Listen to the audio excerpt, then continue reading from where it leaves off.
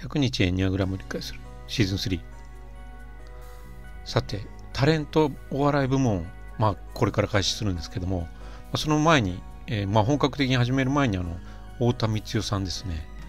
まあタレントなんですけどまあ基本的にはあの社長さんタイタンの社長さんですね。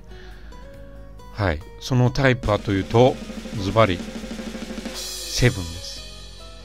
もうあのー、比較的典型的だと思います。それをまあ説明していきますね。あのー、まあ最近よくあのご夫婦であのまあいろいろ出てますね。あのこれ日本ネーミング大賞去年の暮れにやったやつ。あの審査員顧問ですか？なんかその なんか審査員長が太田光さんでそれのさらに上の位に ついてやってたらしくてまあそういうことをやってますあとまあこれウェディングですね太田光さんがすっげえ照れてるのにまたしても満面の笑みですね。これ沢子の朝にも出られてます。あの実際あの、まあ、昔お笑いタレントだったんですよね。で太田プロに、まあ、爆笑問題と一緒に同期で入ってっていう経緯ですね。であのピンでいろいろバラエティーで出られてて、まあ、オーラとしてですねもうあのタイプ7女子の独特のサバサバ感があるんですよね。このあの1のサバサバ感ともちょっと違うんですよ。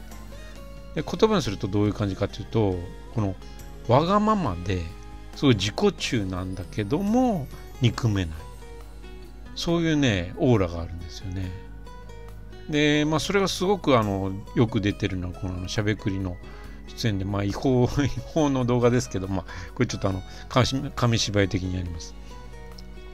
あの、この左側に座ってるのは徳井さんで、まあ、徳井さんに対してね、あの、まんざらでもないような雰囲気な話なんですよね。で、話し方で、その流れで、で、徳井はその、上田さんが徳井はその、あの太田さんのことどう思う？みたいな話を振ると、徳井さんが、お酒飲んで規制を発してるっていうあの感じが雰囲気を持ってるみたいなこと言ってあの私番組中でお酒飲んでキスしたことないですしみたいな 話してその後ですね福田さんがあのすごいお酒飲めるってことであいいわねみたいな感じでみんなが飲みに行け今日って林立てるんですよ。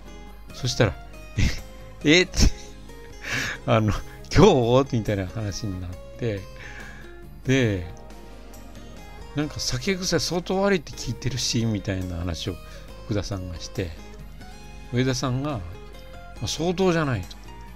ものすごく悪い。で言った直後にですよ。悪いですかね？って言うんですよ。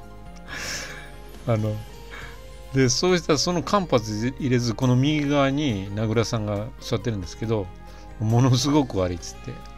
俺顔面蹴られたっつって。